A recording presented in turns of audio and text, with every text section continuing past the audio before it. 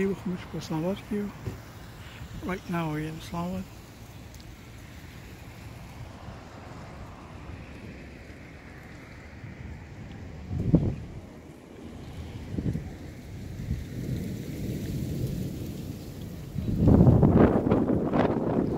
It's the last day of May